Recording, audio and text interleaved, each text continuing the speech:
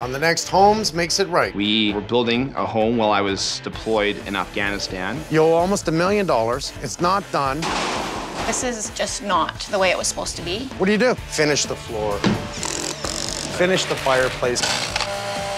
Finish the ceiling in tongue and groove pine. Then do the siding on the garage and laundry area. Put a stone facing below it. Done. It's Holmes Makes It Right. Tuesday night at 9 on HGTV.